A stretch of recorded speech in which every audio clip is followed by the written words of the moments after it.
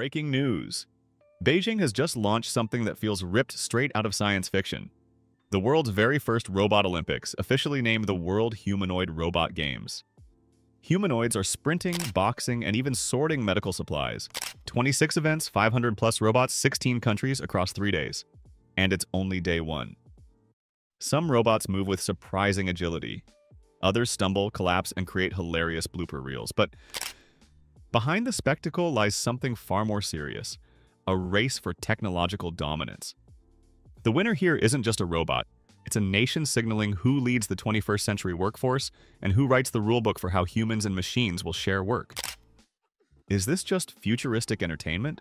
Or is it the first glimpse of a world where robots could replace humans not only in work, but in sports, creativity, and even global competition? By the end of this video, you'll see why this event is being called the Olympics of the Future, and why experts believe it could change the trajectory of robotics forever. Stay tuned, because what's happening in Beijing right now isn't just a sports event, it's a geopolitical game changer. Whoever turns spectacle into dependable services first will shape wages, safety standards, and the pace of innovation for years. 1. The secret origins of the Robot Olympics. The idea of robots competing in sports has fascinated people for decades.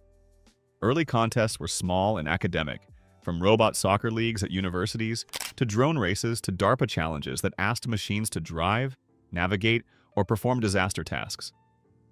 They were interesting but limited, controlled, predictable, and focused on research milestones rather than public competition. The audiences were lab teams and enthusiasts, not spectators buying tickets and posting highlight reels. Quick Delta check. Compared with RoboCup or DARPA trials, this is on a different level. Ticketed spectators. A multi-event program under one roof. Practical challenges like medicine sorting and cleaning, not just football matches. And crucially, a public stage where trial and error is part of the show. Bottom line, fewer rehearsed demos, more chaos in real time, and far more data on how machines behave when the world refuses to cooperate. On August 15, 2020, the World Humanoid Robot Games officially began. More than 280 teams from 16 countries brought over 500 humanoid robots to Beijing. Held at the National Speed Skating Oval, a former Winter Olympics venue, the event ran three days, August 15th, 17. Tickets ranged from 128 to 580 yuan, proof that people are willing to pay to watch machines compete, and just as importantly, to see them fail and recover. The moment you put robots in front of a live crowd, expectations change. And to judge robots like athletes. How fast? How coordinated? How resilient under pressure? Why sports? Because sports test robots in ways labs cannot. Unpredictability. Physical contact. Split-second coordination. Sports compress everything that's hard about the real world into a short, emotional spectacle. Robots that succeed here are closer to real-world utility than ever before. They must perceive, decide, and act while surrounded by moving opponents, erratic bounces, and the constant risk of falling. Success is not a perfect routine. It is recovering when things go wrong and finishing the task anyway. If you had to pick one event, sprint, soccer, or boxing, which exposes the real limits of robots? Think about it because each answer says something about what you expect machines to master first. Speed reveals control. Soccer reveals teamwork and perception. Boxing reveals balance, force modulation, and safe contact. Each challenge maps to real jobs, delivery, coordination on factory floors, and dexterous assistance in crowded spaces. China's choice to host the first Robot Olympics wasn't random. Like 2008, it signals ambition, lead in AI and robotics, and set the narrative for the next decade. 2. Inside the machines. What makes these robots different? The Robot Olympics spans 26 events. Sprints, middle distance runs, football, boxing, table tennis, gymnastics, weightlifting, basketball free throws, obstacle courses, even cleaning trials and medicine sorting. The mix matters.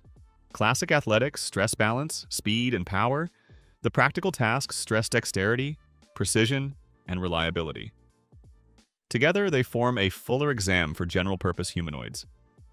The robots aren't simple machines, they're powered by advanced computer vision to map the world in real time, reinforcement learning to adapt strategies, and actuators that mimic muscles to produce smooth motion. Onboard processors minimize latency so decisions happen instantly without cloud delay. A robot that must choose to recover, pass, or shoot cannot wait a half second for a server to reply. It must decide now. Impressive feats grabbed headlines. The Unitree H1 finished the 1,500 meters in about 6 minutes and 34 seconds. That's far slower than elite human athletes, but astonishing for humanoids coping with balance, cadence, and energy on two legs. Impressive, but here's the twist. Speed isn't the headline. Recovery and autonomy are. Watch what happens when they fall. That's the true breakthrough. A quick stand-up is worth more than extra strides. Some robots coordinated in soccer, passing balls with surprising precision and repositioning without colliding. Boxing matches were slower than humans but showed resilience with controlled contact and attempts to maintain guard after light impacts. Many robots tumbled. Some needed human resets, others self-corrected and kept going. Those differences reveal maturity. Autonomy is a spectrum measured in recovery time and stable task completion. Myth. Robots now match human Olympic speed. Reality. They don't and won't soon. The fastest times are nowhere close, but balance recovery, reflexes, and self-corrections, that's what matters for everyday usefulness. One event quietly tested something scarier than speed, handoff reliability. Drop the object in sport and you lose points. Drop it in the real world and you risk a hospital error or a warehouse accident. Reliability under pressure is the dividing line between a cool demo and a deployable worker. Metric of progress. Forget sprint times. The stat to follow is time to recovery after a fall. Today it takes seconds. Next year it could be instant. Recovery measured in fractions of a second unlocks safer contact, fewer operator interventions, and smoother teamwork. When recovery approaches blink and you miss it, humanoids begin to feel inevitable. 3. From stadium to your life, why this matters more than you think.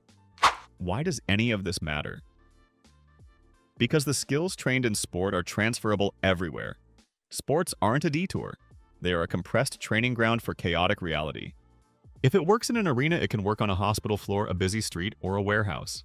Healthcare. Reflexes sharpened in soccer could support surgeons and nurses. Balance training from boxing-like drills can prevent robots dropping equipment in crowded corridors. Reliability in handoffs isn't glamorous, but it's the difference between a tool that helps and a risk you cannot insure.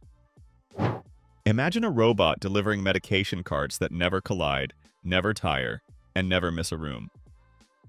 Warehousing. Obstacle agility becomes safe navigation in aisles. With safety layers, humanoids can take repetitive, injury-prone tasks and improve each shift. Elderly care. Robots trained to avoid collisions on tracks could help prevent falls at home. They could provide mobility support, guidance on stairs, and gentle assistance rising from chairs or beds. Companionship also means reliable presence, reminders, and safe support. Search and rescue. Endurance tests show how long robots can operate. In disaster zones, that means hours of work while carrying survivors or navigating rubble. Self-correction matters more than speed. Quick recovery beats sprinting, then failing. Military and defense. Team coordination in soccer equals formation strategy in defense. Dual use is unavoidable. The same teamwork algorithm that scores a goal can secure a perimeter or coordinate patrols. That demands serious governance and accountability, because the edge that wins in sports can escalate stakes elsewhere. Here's the part everyone is missing. This isn't about robots taking medals, it's about stress testing future coworkers. Bottom line, sports today, service jobs tomorrow. If you're building with robotics or AI vision, the next section will save months of trial and error, because it's about the one issue that can stall adoption even when the demo looks perfect. 4. The experts are divided, hope or hype.